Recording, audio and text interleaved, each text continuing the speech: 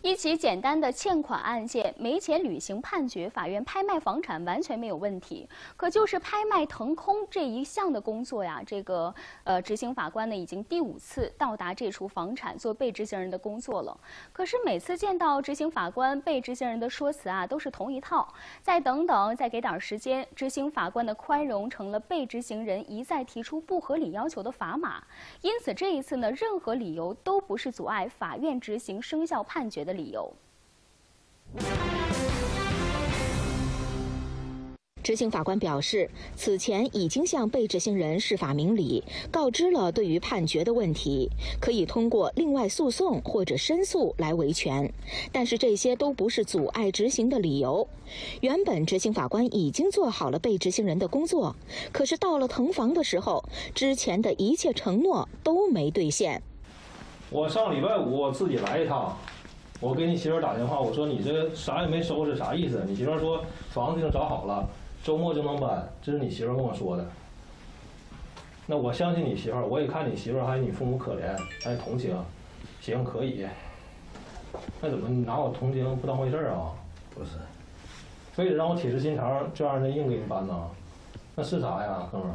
咱俩头一次见面，是对不？对。啊，我以前也没难为过你，今天别让我为难，好不？自己赶紧收拾。法官已经表述得很清楚，可是被执行人王某没有动手收拾行李的意思，还是一再和执行法官念叨，希望再信他一次，再给点时间。法官这一次还会继续相信吗？咱案子这么多，没有时间天天往你这儿跑。是，本来一个很简单的事儿。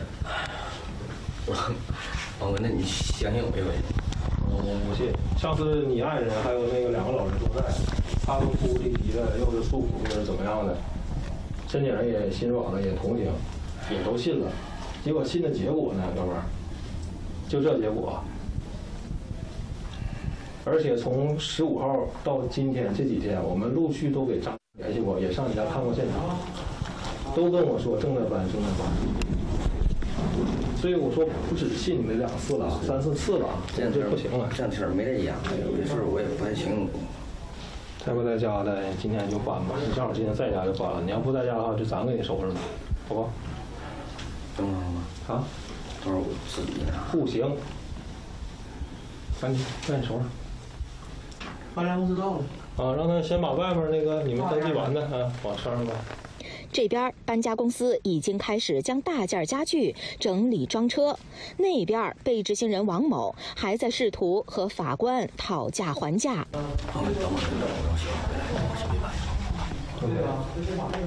你媳妇回来也是往外搬，有区别吗？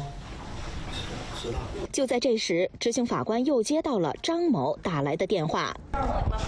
不行？我今天自己回去不不不不，这我们该费事费事，没有事儿。现在已经开始搬了，你老公在这呢。那个，你赶紧回来，他现在有点六神无主啊。不是，这东西往哪搬？那乱码七糟玩意儿，这该找的找不着了。那你就那你就跟你老公说一声，让他帮着收拾。我刚才都跟他说了，搬家公司收拾，你肯定有东西乱糟糟的，你不知道放哪儿了。你老公跟着收拾，他到时候知道，方便以后你们找啊。不是，你们明天一来检查不行吗？我这自己收拾，我自己找那车先放那，还放他那车，一会儿我回去搬。不行。你们明天自己来人来检查来。我都为你这事儿来四趟了，张。你次次告诉我自己搬自己搬，现在还忽悠我自己搬呢？不是说忽悠你。你赶紧跟你老公说，让他帮着收拾，省得你到时候东西找不着啊。这都多少钱啊？还用用？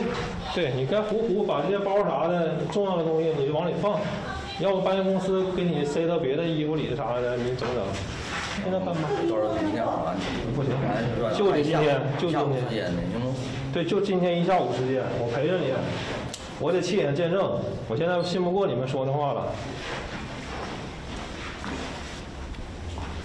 执行法官表示，之所以必须强制执行，除了尊重生效判决、维护申请人的权益之外，也是为了减少被执行人的损失。我们要维护申请人的合法权益，同时呢，这个房屋尽早处置、尽早变现，也能够尽早的还款，减轻这个。呃，迟延利息对于被执行人的压力，所以基于多种考虑呢，我们今天必须强制将房屋腾出，以能够推动这个拍卖活动的正常进行。同时也是为为了维护这个生效法律文书的这个权威性。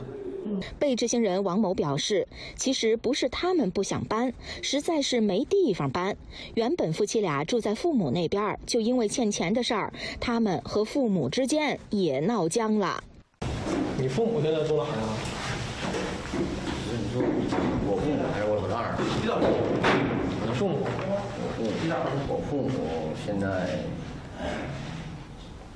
我父母现在，我父母现在搁哪呢？搁曹洞那块儿。朝中那块儿，那东西就放你父母家呗哎。呦我不行呢，咋的呢？闹老僵了现在。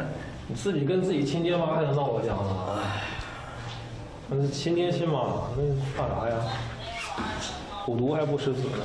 父母都六十多岁了，你这事儿你说掺和整点事儿，就是拿就用他们家放一些就你用的东西，你自己找个房子搬走呗，对不？长期存放，让他们帮着你还钱，估计是不现实。帮你放点东西不很正常吗？